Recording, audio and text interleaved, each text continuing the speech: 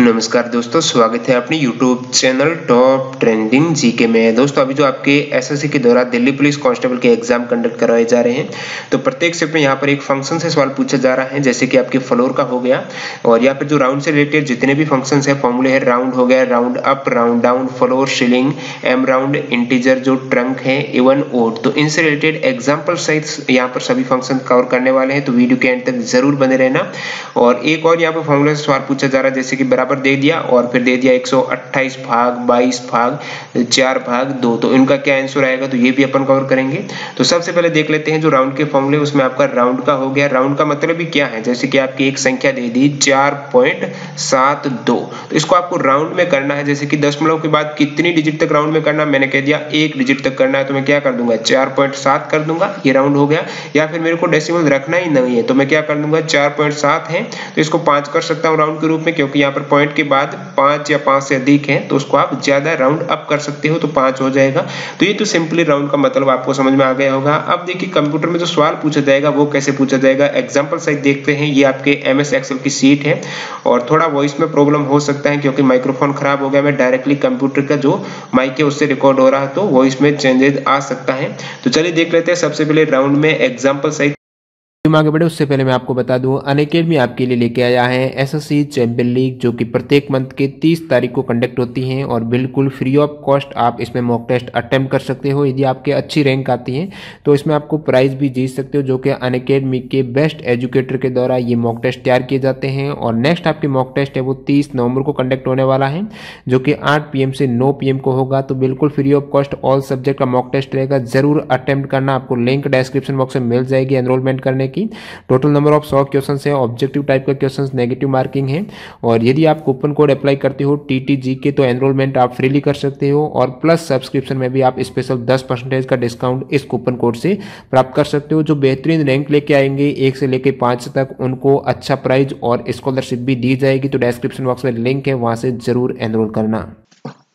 तो दोस्तों, सबसे पहले देख लेते हैं आपका राउंड वाला क्या फ़ंक्शन है तो किस प्रकार से सवाल बन सकता है यहाँ पर। सवाल इस प्रकार से आ सकता है, सबसे पहले मैं बता दूँ, जैसे कि सवाल आ गया आपके एग्ज़ाम में तो ऐसे दे देगा आपके बराबर R O U N D फिर दे दिया आपके पंद्रह पॉइंट पचपन या फिर छप्पन, उसके बाद ये कॉमा दिया और दे दिया दो। इसका क्या मतलब हो गया कि जो आपको पंद्रह पॉइंट छप्पन को राउंड करना है दो या फिर एक दे दिया, क्योंकि यहाँ पर दो डिजिट तो पहले ही है तो पंद्रह पॉइंट छप्पन ये आपकी मेन संख्या हो जाएगी नंबर हो जाएगा।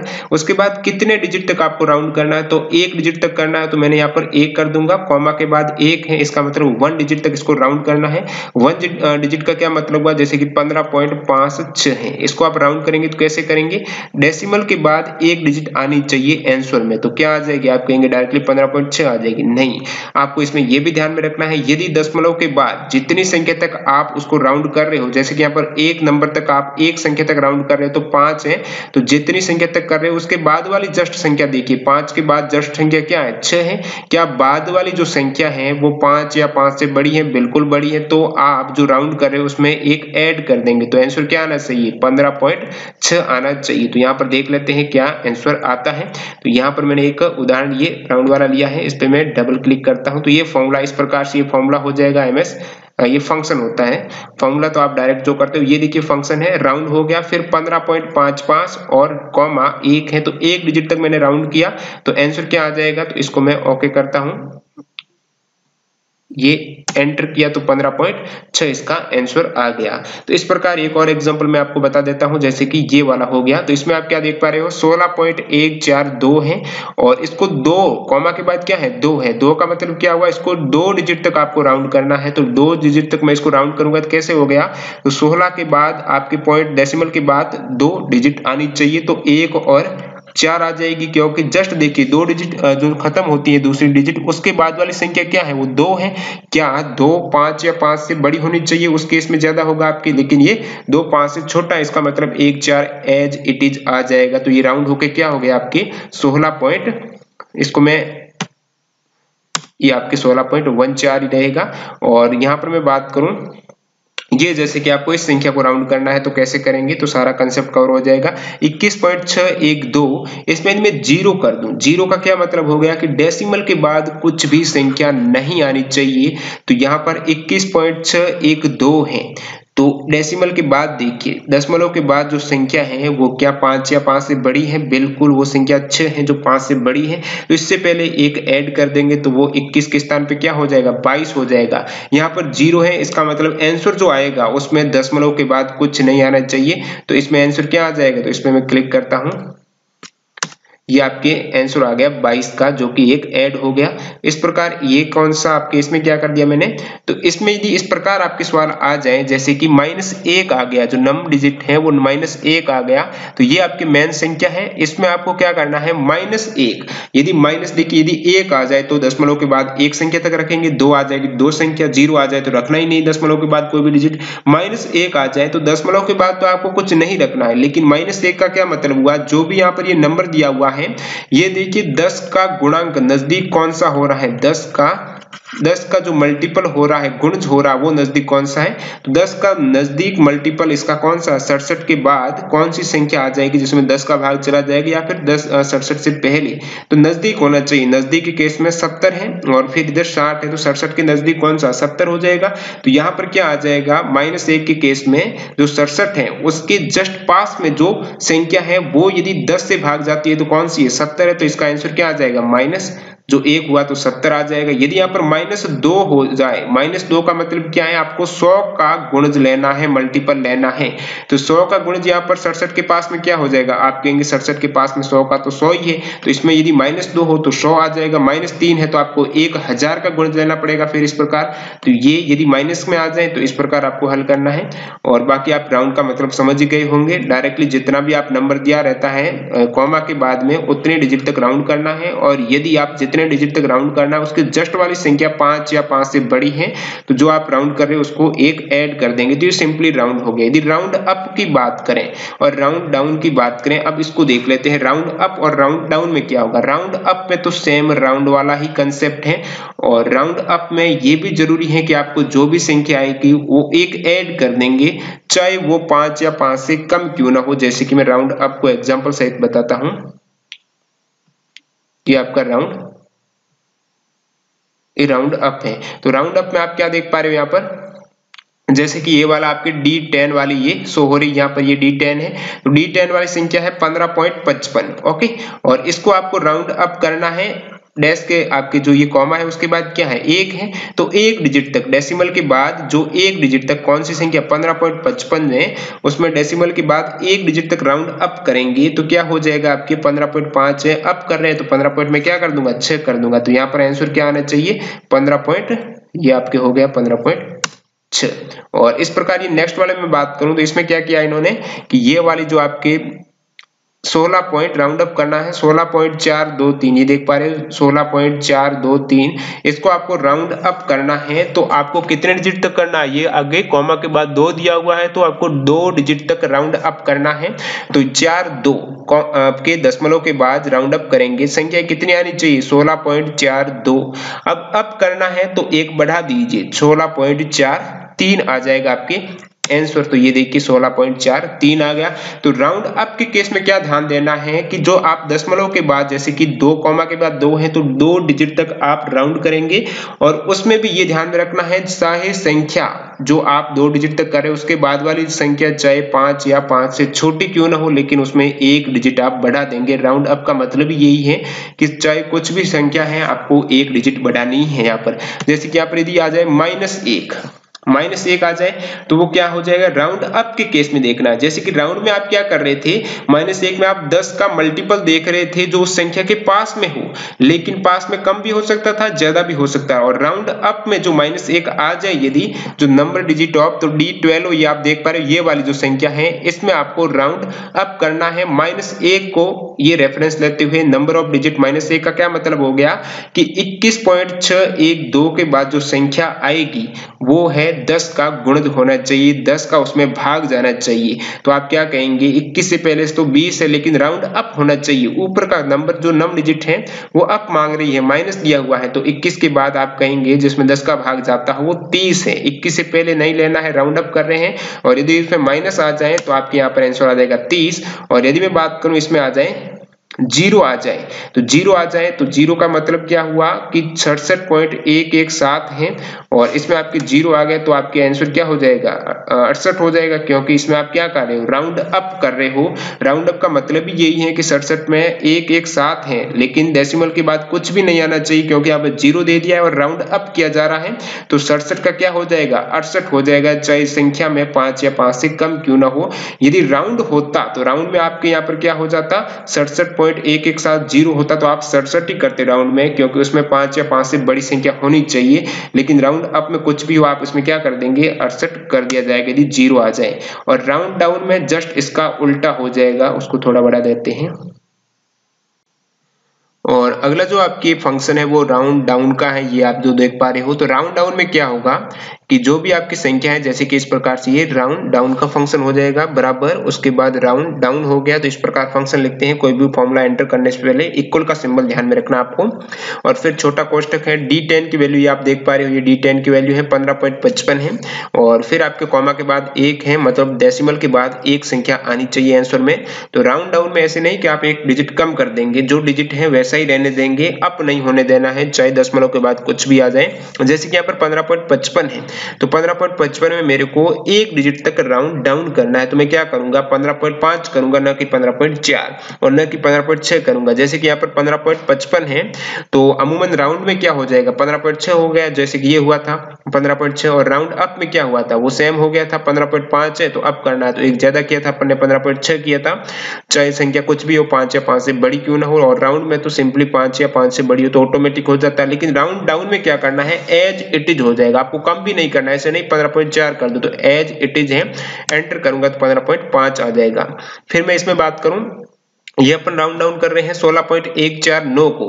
तो 16.149 को कॉमा के बाद दो संख्या तक। तो डेसिमल के बाद आपकी दो संख्या आनी चाहिए तो एक चार आ जाएगा डायरेक्टली आंसर ऐसे नहीं कि आप एक कम कर दो, एक तीन नहीं करना है। जो नौ को हटा देना है तो नौ आप क्या देख पा रहे हो? डेसिमल के बाद दो संख्या एक चार आनी चाहिए और चार के बाद नौ पाँच से बड़ा है, लेकिन फिर भी ये पाँच नहीं होगा, क्योंकि राउंड डाउन का यहाँ पर फ़ंक्शन काम में कर रहा है, इसलिए सोलह ही आंसर आ जाएगा।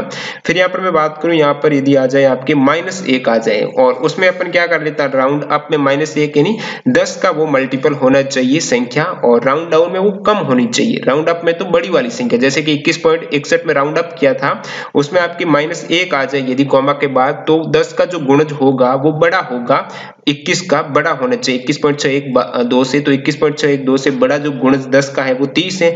इस प्रकार राउंड डाउन में जो गुणज होगा, वो दस का होगा, लेकिन वो क्या है, जो संख्या दी हुई है, उससे छोटा होना चाहिए। उसके पास जो भी नियर वाला है, इक्कीस पॉइंट छह एक दो में, इसके पास इससे छोटा कौन सा गुणज है, जिसमें दस का भाग जाता है तो वो दस का गुणज हो जाएगा, बीस हो जाएगा। तो आंसर इसमें क्या आ जाएँगे? माइनस एक में बीस आ जाएगा। और बात करूँ यहाँ पर यदि ज़ीरो आ जाए कॉमा के बाद ज़ीरो आ जाए, जो डिजिट है, सड़सठ पॉइंट एक एक सात तो ज़ीरो के केस में आप क्या करेंगे? डेसिमल तो आपको रखना ही नहीं है, उसके बाद कुछ संख्या आएगी नहीं, और राउंड डाउन हो रहा है तो आपको सड़सठ ही रहने देना है। राउंड अप हो रहा था तो उसमें अड़सठ आपने कर दिया था, लेकिन यहाँ पर राउंड डाउन में ये सड़सठ ही रहेगा। तो ये तो आपके हो गया राउंड डाउन का काम राउंड अप का, और राउंड का तीनों ही इजिली आपको आई होप समझ में आ गए होंगे। अब थोड़ा ऊपर चलते हैं, जिसमें एम राउंड आ जाएगा, फिर फ्लोर है, और शिलिंग है उसके बाद आपके ट्रंक ओड एवन तो ये थोड़ा देख लेते हैं। एम राउंड की मैं बात करूँ एम का मतलब क्या है? ये मल्टीपल है। मल्टीपल जो अपन देख पा रहे थे, गुणज है। ओके तो मल्टीपल का मतलब कैसे हो? जैसे कि पाँच का मल्टीपल क्या हो जाएगा तो आप कहेंगे पाँच का जो पहाड़ा है, वही तो पाँच का मल्टीपल है। जैसे कि पाँच हो गया, पाँच का मल्टीपल दस है, पंद्रह है, बीस है, ये पाँच के मल्टीपल है। तो इसमें क्या करना है? एम राउंड में ये आपके एम राउंड है। जैसे कि एफ़ टेन का आपको करना है।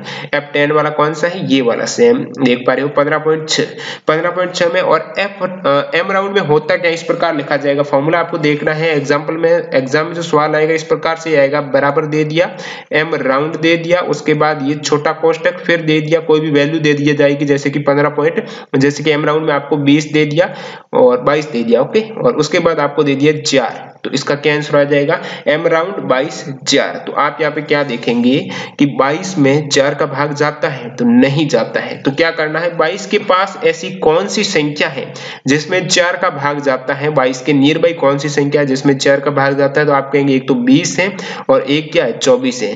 तो लेकिन एम राउंड में जो नियर की संख्या बीस और चौबीस है, बाईस से बराबर अंतर पर है तो बड़ी वाली संख्या देखनी है तो चौबीस हो जाएगा। चौबीस में चार का भाग जाता है तो एम राउंड जो बाईस और चार का आंसर क्या आ जाएगा? वो आ जाएगा चौबीस तो अपन यहाँ पर देख भी लेते हैं उदाहरण सहित। जैसे कि ये एम राउंड आपको करना था एफ़ टेन में जो वैल्यू है, उसको ज़ीरो पॉइंट पाँच का मल्टीपल देखना है। तो एफ़ टेन में पंद्रह पॉइंट पाँच है और पंद्रह पॉइंट पाँच में आपको क्या करना है? ज़ीरो पॉइंट पाँच का भाग जाना चाहिए। पंद्रह पॉइंट पाँच में छह में सॉरी ये वाले एफ़ टेन की। क्या पंद्रह पॉइंट छह में ज़ीरो पॉइंट पाँच का भाग जा रहा है? आप कहेंगे नहीं जा रहा है। तो इसमें भाग जाने के लिए मैं क्या करूँगा? इसका नियर बाई देखूँगा किसमें भाग जा रहा है? पंद्रह पॉइंट छह से थोड़ा ज़्यादा या फिर थोड़ा कम। आप कहेंगे पंद्रह पॉइंट पाँच में जा रहा है, जो कि पॉइंट ज़ीरो, एक कम है। बिल्कुल जा रहा है, पंद्रह पॉइंट पाँच में जा रहा है तो मैं यहाँ पर क्या कर दूँगा, पंद्रह पॉइंट पाँच कर दूँगा आंसर, क्योंकि ज़ीरो पॉइंट पाँच का उसमें भाग जा रहा है। और उसके तो बाद में पंद्रह पॉइंट छह के बाद किसमें जाएगा, फिर आप कहेंगे सोलह में जाएगा ज़ीरो पॉइंट पाँच का तो वो काफ़ी ज़्यादा हो जाता है। उसका सबसे नियर बाई जो भी होगा डाउन में अप में, जो नियर बाई रहेगा नियरेस्ट वैल्यू रहेगी, वही आपकी यहाँ पर हो जाएगी एम राउंड में हो जाएगा तो ये भी आपको समझ में आ गया, पंद्रह ये इसको मैं कर देता हूँ। ओके तो ये आंसर क्या आ जाएगा इसमें? पंद्रह पॉइंट पाँच आ जाएगी, पंद्रह पॉइंट पाँच आ जाएगा। इसी प्रकार इस फॉर्मूले की बात करूँ तो सोलह पॉइंट चौदह में ज़ीरो पॉइंट ज़ीरो पाँच तो ज़ीरो पॉइंट ज़ीरो पाँच का क्या सोलह पॉइंट चौदह में भाग जाता नहीं जाता तो किसमें जाता है, इसके नियर बाई देखिए तो नियर बाई में आपके सोलह पॉइंट आप कहेंगे पंद्रह में जाता है तो आंसर क्या आ जाएगा, सोलह पॉइंट पंद्रह आ जाएगा। और ये आपके एग्ज़ाम्पल हो ही गया है, जैसे कि बाईस में बाईस में चार का भाग जाता है, चार कहाँ से आ रहा है आप देख पा रहे हो, कॉमा के बाद वाला मल्टीपल काम में आएगा, यानी कॉमा के बाद जो भी संख्या होगी, उसका मल्टीपल देखना है, जो पूछा हुआ नंबर है।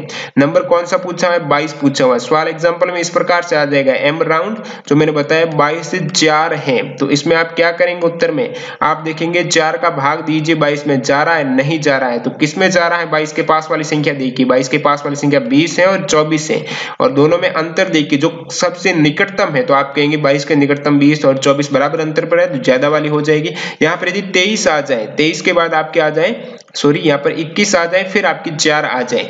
अब आप 21 में चार का भाग नहीं जाएगा तो इसके नियर बाई देखिए, जिसमें चार का भाग जाता है तो आप कहेंगे 20 है और 24 है, लेकिन 21 के पास में 20 है तो वहाँ पर आंसर 20 आ जाएगा। जैसे कि मैं आपको करके ही बता देता हूँ यहाँ पर एक्सल में, यहाँ पर करना है तो बराबर कर दूँगा। उसके बाद मैं करूँगा एम राउंड तो एम राउंड ये फ़ंक्शन आ जाएगा, इस पर डबल क्लिक करूँगा। और फिर जैसे कि आपको करना है 25 25 के बाद मैंने कॉमा दिया। अब देखिए मल्टीपल में देखना है। मैं जैसे कि कर देता हूँ तीन। अब तीन कर दिया। आंसर क्या आना चाहिए? आप पहले तो कमेंट बॉक्स में बता दीजिए, फिर इसको मैं एंटर करूँगा। तो मेरे अकॉर्डिंग यहाँ पर आंसर क्या आना चाहिए? तीन का पच्चीस में भाग नहीं जाता है तो आप कहेंगे किसमें जाता है पच्चीस का? तो पच्चीस के नियर बाई डिजिट देखिए, जिसमें तीन का भाग जाता है तो एक तो आपकी चौबीस है, एक फिर आपके सत्ताईस है। लेकिन पच्चीस के पास में कौन सी? चौबीस है तो आंसर क्या आना चाहिए इसमें? आंसर आना चाहिए चौबीस तो मैं इसको एंटर कर देता हूँ। तो ये आप देख पा रहे हो आपके आंसर आ गया। 24 अब देखिए, बढ़ते हैं। आपके एम राउंड कंसेप्ट क्लियर हो गया है। Round round up round down का हो गया है। अब जो आपके एक कल एग्ज़ाम में सवाल आया था फ्लोर का और शिलिंग का, वो देख लेते हैं। अब देखिए, जो देख लेते हैं अपन, फ्लोर का जो एग्ज़ाम में सवाल पूछा हुआ दिल्ली पुलिस में कांस्टेबल में। फ्लोर में इस प्रकार से सवाल पूछा जा रहा है कि बराबर दे दिया, फिर आपको दे दिया जा रहा है F L double O R उसके बाद कोई भी डिजिट दे दिया, जैसे कि पाँच दे दिया, फिर कॉमा तीन दे दिया, और इसका आंसर क्या होगा? तो फ्लोर का मतलब क्या हो जाएगा? जो होता है फर्श। फर्श कहाँ पर होता है? नीचे। उसके ऊपर क्या होती है? छत होती है सीलिंग होती है। तो ये दोनों ही एक दूसरे के अपोजिट हो जाएँगे। फ्लोर में क्या होता है? राउंड एक given number down nearest multiple जैसे कि अपन ने एम राउंड में किया था एम राउंड में न तो आपने ऊपर का किया था कि ऊपर वाला जो मल्टीपल है, उसमें ऊपर वाला आंसर या फिर नीचे वाला, उसमें जो भी निकटतम था एम राउंड में, वो अपन कर रहे थे मल्टीपल वाला। लेकिन फ्लोर में निकटतम में भी सबसे नीचे वाला देखा जाएगा, जैसे मैं एग्ज़ाम्पल लेके आपको कवर करता हूँ। पाँच हो गया, तीन हो गया। आप दीजिए, तीन का पाँच में भाग जाता है, नहीं जाता है। तो किसमें जाता है? पाँच से कम का देखिए। अब ऐसा नहीं कि आप पाँच से ज़्यादा का देख लेंगे, क्योंकि आप एम राउंड में तो उसके निकटतम देख रहे थे तो छह का जाता है तो आप वहाँ पे आंसर क्या कर रहे थे? छह कर रहे थे। लेकिन यहाँ पर पाँच के निकटतम देखिए जो कम वाला हो, पाँच से कम वाला देखिए जिसमें तीन का भाग चला जाए, जिसमें एक मिनट।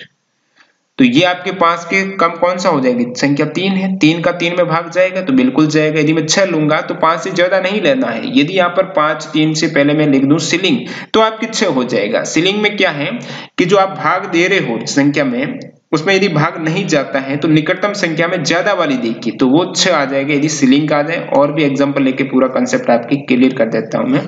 जैसे कि ये आपकी पूरी सीट बनी हुई है। इसमें ये फ्लोर का फॉर्मूला आप देख पा रहे हो जो फ़ंक्शन एंटर है। और इसमें मैंने क्या किया? सी अट्ठारह। सी अट्ठारह यानी ये बारह है। और बारह के बाद कॉमा पाँच। तो बारह कॉमा पाँच आंसर क्या आना चाहिए आपके अकॉर्डिंग बारह कॉमा पाँच। आगे कौन सा फ़ंक्शन है? फ्लोर का फ़ंक्शन है। फ्लोर जो नीचे होता है, फ़र्स्ट होता है तो आप कम का देखेंगे। जो पाँच का भाग बारह में नहीं जा रहा है तो किसमें जाएगा? बारह से कम वाली संख्या देखिए, आप कहेंगे दस में जाएगा, जस्ट बारह से कम वाली। उसके निकटतम देखना, ऐसे नहीं आप बारह से कम तो पाँच भी है, लेकिन निकटतम देखिए बारह से कम दस है तो दस में चला जाएगा भाग। आंसर क्या आना चाहिए इसमें? दस आना चाहिए तो मैं इस पर क्लिक करता हूँ। तो ये आपके आंसर क्या आ गया? दस आ गया। इस प्रकार इसमें भी देखिए सी उन्नीस, यानी जो अट्ठारह वाली संख्या है, और अट्ठारह के बाद चार कॉमा चार है तो चार का अट्ठारह में भाग नहीं जाएगा तो किसमें जाएगा? अट्ठारह की निकटतम सबसे कम वाली संख्या। अट्ठारह से कम वाली कौन सी संख्या जिसमें चार का भाग चला जाए? तो आप कहेंगे वो संख्या तो सोलह है तो इसका आंसर क्या आना चाहिए? फ्लोर के केस में सोलह आना चाहिए। यहाँ पर सीलिंग आ जाए तो सीलिंग में आप खुद बता सकते हो। अब सीलिंग ऊपर होता है जो आपके शत शत ऊपर होती है तो शत ऊपर होती है तो आपकी क्या करेंगे? अट्ठारह से बड़ी वाली संख्या देखेंगे, जिसमें चार का भाग चला जाए, जस्ट बड़ी वाली कौन सी है? ट्वेंटी तो सीलिंग के केस में क्या आना चाहिए? ट्वेंटी आना चाहिए, चार का भाग चला जाएगा, और यदि आपके फ्लोर आ जाए तो अट्ठारह से जस्ट छोटी संख्या देखिए, जिसमें चार का भाग चला जाए तो आप कहेंगे सोलह है। तो एंटर करूँगा, आंसर आ जाएगा सोलह। अब नेक्स्ट यहाँ पर एक और एग्ज़ाम्पल लेके पूरा कंसेप्ट कवर कर लेते हैं। तो ये हो गया आपकी सी में वैल्यू कितनी है? सत्रह है। और फिर कॉमा के बाद तीन है। अब सत्रह तीन का तो भाग नहीं जा रहा है तो आप क्या करेंगे? सत्रह पॉइंट सात से कम वाली संख्या देखिए, जिसमें तीन का पूरा भाग चला जाए तो आप यहाँ पर क्या देगा सोलह तो है नहीं, सत्रह भी नहीं है कम, फिर पंद्रह है, पंद्रह में तीन का भाग जाता है, बिल्कुल करेक्ट हो जाएगा आंसर हो जाएगा इसका पंद्रह, ये पंद्रह हो गया। तो ये इस प्रकार आप कर सकते हो इजिली है, और फिर मैं इसका उल्टा बात करूँ सीलिंग की, वो भी कंसेप्ट आपके क्लियर हो ही गया है, लेकिन एक एग्ज़ाम्पल के साथ कर लेते हैं। बराबर किया, फिर मैंने सीलिंग किया, तेरह और दो कर दिया। डायरेक्टली यहाँ पर मैंने एंटर कर दिया तेरह और दो। अब दो का भाग दीजिए, तेरह में नहीं जा रहा है तो आप क्या करेंगे? तेरह से जस्ट बड़ी संख्या देखिए, जस्ट निकटतम बड़ी संख्या कौन सी है? चौदह है, चौदह में दो का भाग जा रहा तो करेक्ट आंसर क्या हो जाएगा? चौदह हो जाएगा सीलिंग यदि हो जाता ये आपकी सीलिंग नहीं फ्लोर हो जाता तो क्या करते आप? तेरह से जस्ट कम वाली बारह हो जाता नहीं तो यहाँ पर आंसर चौदह हो जाएगा। तो इस प्रकार यदि सीलिंग में आ जाए बराबर सीलिंग पंद्रह और सात आ गया तो आप खुद आंसर बता दीजिए क्या हो जाएगा। पंद्रह और सात आ जाए तो सात का पंद्रह भाग नहीं जाता है तो सात का भाग किसमें जाता है? जो पंद्रह से बड़ी वाली संख्या जस्ट तो आप कहेंगे सात का भाग तो चौदह में जाता है लेकिन वो तो पंद्रह से छोटी वाली संख्या छोटी। यदि यहाँ पर फ्लोर आता तो आप चौदह कर देते। लेकिन पंद्रह से बड़ी संख्या जिसमें सात का जाता है तो डायरेक्टली इक्कीस ही आएगी तो आंसर इक्कीस आ गया। तो ये फ्लोर और सीलिंग आई होप आपके अच्छी तरह से कवर हो गया। एम राउंड में क्या होता है? आपको देखना है पास वाली, जो निकटतम संख्या ऐसे नहीं देखना करना कि उसके बड़ी बड़ी वाली या फिर छोटी वाली। तो एम राउंड में जो मल्टीपल आप देखेंगे, वो पास वाली, कोई भी संख्या हो सकती है, बड़ी भी हो सकती है, छोटी भी हो सकती है। जैसे कि यहाँ पर, ये आप 21 आंसर है यहाँ पर यदि एम राउंड करके मैं 15 और 7 कर देता तो 7 का भाग 15 में नहीं जा रहा तो आप कहेंगे निकटतम संख्या कौन सी है, जो भी वो आप कहेंगे 14 थी तो आपके यदि मैं एम राउंड करके इसको मैं करूँ तो क्या आंसर आना चाहिए? बराबर एम राउंड ये आपके एम राउंड हो गया, और फिर ये पंद्रह और कॉमा सात यानी सात का मल्टीपल देखना है एंसर यहाँ पर भी चौदह आएगा ओके तो आई होप ये आपको दोनों कंसेप्ट क्लियर हो गया है एम राउंड का सिलिंग का फ्लोर का, बाकी round round up round down बिल्कुल ईजी था। और दोस्तों, यहाँ पर एक एक्सेल का फॉर्मूला जो लगभग प्रत्येक सेट में पूछा जा रहा था फ़ंक्शन तो हो गए, बाकी फॉर्मूले में इस प्रकार से सवाल आ रहा था, जैसे कि बराबर हो गया। उसके बाद दे दिया इन्होंने चौसठ भाग फिर आठ भाग, चार भाग, दो। आंसर क्या आएगा ये पूछ रहे थे। तो इसमें करना क्या होता है? सबसे पहले जो भी पहली वाली संख्या देखी जैसे सिक्सटी है, उसमें आप भाग दे दीजिए इस सेकेंड वाली का, आठ का। तो आंसर आ जाएगा आठ, फिर आठ में भाग दीजिए ये वाली थर्ड वाली, चार का। तो क्या आ जाएगा? दो। अब दो में लास्ट वाली का भाग दीजिए आंसर आ जाएगा जाएगा एक। या फिर मैं आपको इसमें एंटर करके भी बता देता हूँ, ये इस प्रकार हो जाएगा एंटर आपकी फॉर्मूला जैसे कि ये एक्सल सीट है आपकी, और इसमें मैंने सबसे पहले बराबर सिंबल एंटर करना है, और बराबर का मतलब यहाँ से फॉर्मूले की एंट्री हो रही है। और उसके बाद जैसे कि आ गया चौसठ, और भाग के केस में इस प्रकार ये करते हैं स्लेस और फिर आपके आठ था, चार था, और दो था। आंसर क्या आना चाहिए अपने अकॉर्डिंग आपने क्या था एक आना चाहिए। एक आना बिल्कुल करेक्ट है। तो इस प्रकार इसका आंसर होगा। कुछ भी आ जाएगा जैसे कि 144 भाग और फिर आ गया जैसे कि 12 भाग दो आ गया। आंसर यहाँ पर क्या आना चाहिए? छह आना चाहिए, क्योंकि 144 में यदि आप 12 का भाग देंगे सबसे पहले तो क्या आ जाएगा? 12 आ जाएगा, फिर 12 में लास्ट में दो का भाग दीजिए, क्या आ जाएगा? छह। तो यहाँ पर भी क्या आना चाहिए? छह। तो ये देख पा रहे हो, इस प्रकार आप डायरेक्टली आंसर निकाल सकते हो। धन्यवाद। नेक्स्ट आपके हैं आईएनटी जो इंटीजर है और ट्रंक है तो इन दोनों को देख लेते हैं एक साथ यहाँ पर। मैं बात करूँ सबसे पहले इंटीजर की तो नाम से स्पष्ट है आईएनटी यानी पूर्णांक आएगा यहाँ पर। क्या आएगा? पूर्णांक आएगा जो कि नंबर्स डाउन होगा, जैसे कि अपन अप डाउन अभी कर रहे थे नंबर्स में। तो आईएनटी वाला जो फ़ंक्शन आ जाए तो उसमें छोटे वाला पूर्णांक लिया जाएगा। जैसे कि एग्ज़ाम्पल के रूप में मैं बताऊँ, ये आपके हो गया दो पॉइंट पैंतालीस। अब दो पॉइंट पैंतालीस हो गया और मैंने कर दिया, इस प्रकार आपके सवाल आएगा एग्ज़ाम में, कि बराबर INT और फिर डायरेक्टली दे दिया जैसे कि 2.45 आंसर क्या आएगा INT का मतलब इंटीजर करना, आपको इसमें पूर्णांक में कन्वर्ट करना है। तो पूर्णांक में आप बदलेंगे तो आई के केस में क्या ध्यान में रखना है? पूर्णांक में बदलने पर आप ऐसे भी कर सकते हो 2.45 को तीन बदल देंगे। लेकिन यहाँ पर डाउन होगा। राउंड से number down to the nearest integer उसके पास में जो इंटीजर है तो 2.45 के पास कौन सा इंटीजर है? सबसे छोटा वाला 2.45 से छोटा वाला। तो आप कहेंगे दो है। आंसर क्या आ जाना चाहिए? दो आ जाना चाहिए। आई आई के केस में। तो चलिए इसको मैं इसको अपन इस एक्सल सीट में देख लेते हैं। ओके तो ये आपके हो गया जैसे कि ये एंटर है यहाँ पर फॉर्मूला ओके जैसे कि बराबर I N T B twenty five B twenty five value क्या है? दो पॉइंट पैंतालीस है। और इसको मेरे को इंटीजर करना है तो क्या आंसर आना चाहिए? दो आना चाहिए क्योंकि इसमें डाउन करेगा जो नियर बाई नियरेस्ट इंटीजर है। दो पॉइंट पैंतालीस के पास में कौन सा पूर्णांक है? दो है और तीन है।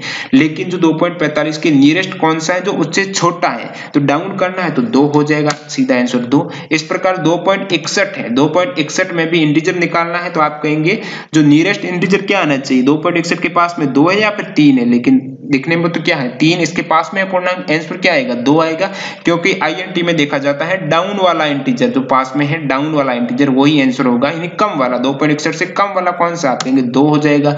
और इस प्रकार मैं बात करूँ माइनस में छह पॉइंट बाईस दे दिया इंटीजर दे दिया, बराबर आई एन टी माइनस छह पॉइंट बाईस। तो इसमें भी आप क्या देखेंगे? राउंड करेंगे पूरा नंबर इंटीजर पूर्णांक में कन्वर्ट करेंगे जो सारा दशमलव है, उसको पूर्णांक में बदलेंगे।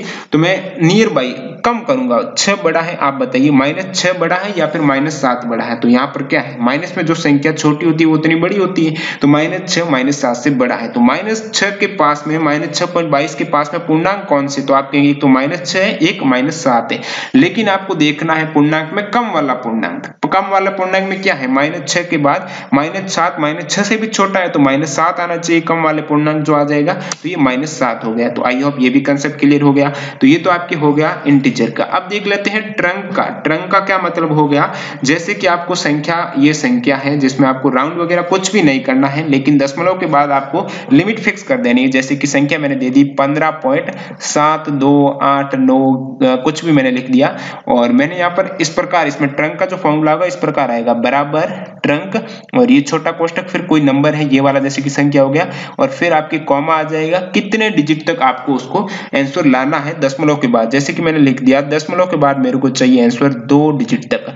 और ट्रंक में क्या होगा? चेंजेस बिल्कुल भी नहीं होगा। एज इट इज़ दशमलव के बाद जो भी दो संख्या वो लिख देंगे। उसके पीछे कुछ भी आपको नहीं देखना पाँच या पाँच से बड़ी वगैरह कुछ भी नहीं देखना है।